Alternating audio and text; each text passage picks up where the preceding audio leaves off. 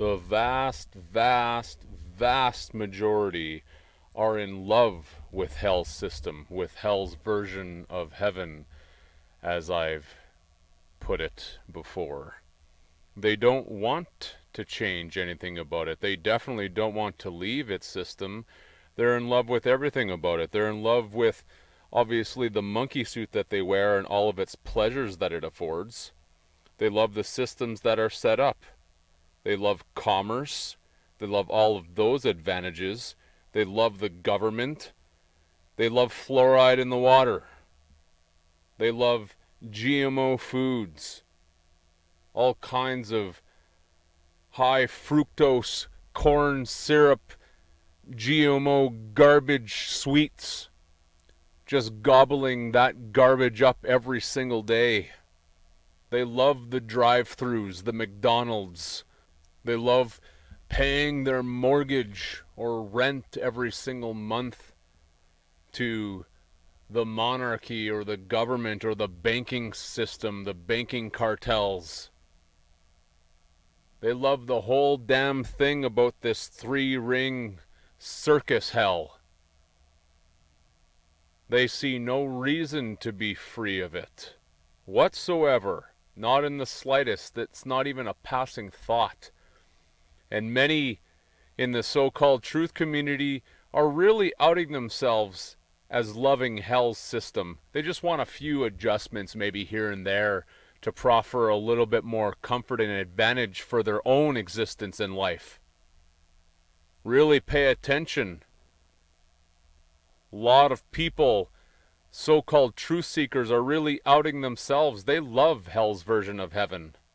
They just want slight adjustments that they call freedom. Just leave me alone a little bit more, but keep everything else in place. I love the technology that you've developed. I know it destroys the earth completely, but I just love it. I don't want to change a damn thing about that whatsoever. Yeah, as I said, there are very, very, very few who truly want to be free and are willing to do everything that it's going to take. Far fewer than can be imagined. There are a lot of lovers of hell's system. That's a fact. And especially when the systems are online, as I've been saying, which is still the case currently, obviously. But what about when they go offline? So many put their total faith and trust that everything of this system, syst stem, is just going to remain online indefinitely, forever and ever, generation after generation to come.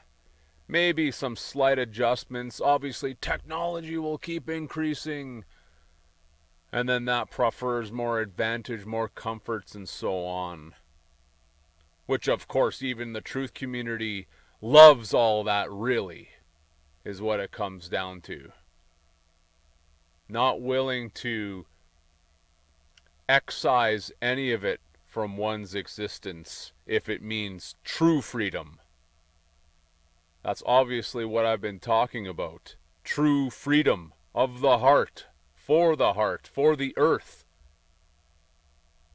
So that it doesn't have to suffer all of the pains and duress that it's put under every single day for this system one isn't paying attention if they don't see that. You're not paying attention at all. You're in love with the system, then, obviously, or just wanting to remain blind. So, the point I'm trying to make here is that all systems are online currently, but the reflection, as I've been mentioning, is that they go offline. They go dark. And when things go dark, it gets dark and ugly very dark and ugly eventually. Because that's what a fall is. And a fall isn't something to look forward to. This fall is not something that's going to be nice in the slightest, not whatsoever. This should really, really be giving everyone pause if you're paying attention and also listening to the heart because you're actually silent. You're not being consumed by anything right now. That's a distraction. Who out there is in that state of silence? I really wonder. It is very few. No doubt about it. There are so few that are really, truly, and I mean truly, taking it all seriously. Still, just wanting so many distractions of whatever kind, just to remain occupied. That's what it's all about. Well, I'm I'm here, I might as well just stay occupied. Yep, exactly. Keep chasing those goals. So the reflection symbolically in the quarantine that was shown, what's to come? The shit hits the fan. I've already shown this symbol previously. Yeah, the toilet paper flying off the shelves. It was a symbol ahead of its time. When the shit hits the fan, there's not going to be enough toilet paper to wipe it all up. Not even close.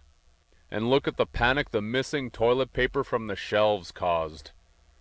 It was unreal. Now imagine all systems and resources going offline and being restricted entirely. And I've already presented this. How dark and ugly does it get and how quickly does it get to that state?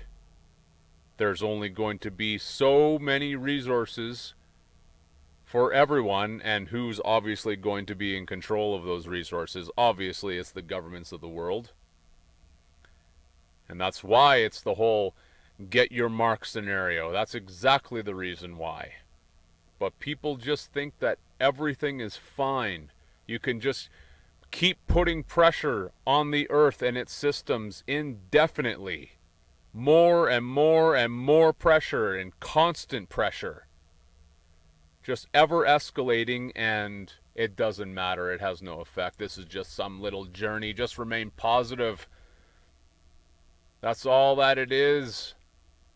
What are you talking about pressure? And of course, anyone who says things along these lines is absolutely blind. A hundred percent blind or willfully ignorant. It's a refusal to see what's going on and the pains and pressures put on the earth, put on the heart. The amount of pains that are caused, yeah, to the human populace as well to provide for these services for those who are living higher and more substantial lifestyles. Just again, turn a blind eye to all of those people who are slaves very much to systems to provide these goods and services these plastic pieces of garbage that you buy at these big box stores. It's just unreal. Just accumulating shit for no reason whatsoever because it's exciting to buy the next new thing.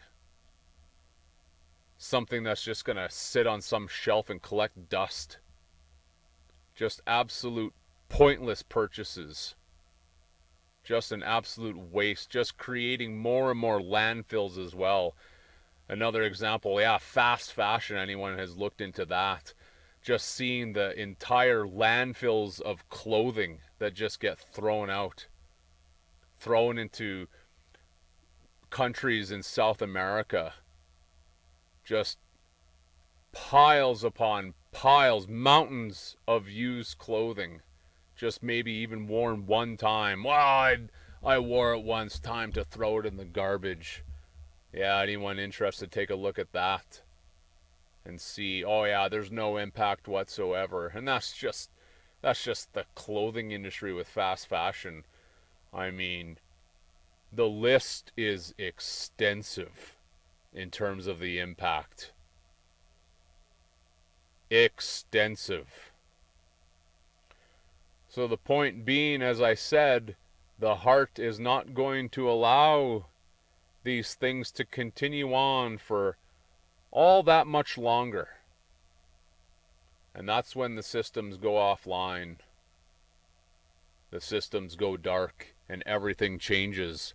Whether you're ready or not, it doesn't matter. This system doesn't give a shit about any one of us. None of us. It cares about itself and its continuance and its survival. That's it. Everyone gets used in different degrees throughout the hierarchy. Every last one of us. There is nothing of this system to believe in or trust whatsoever.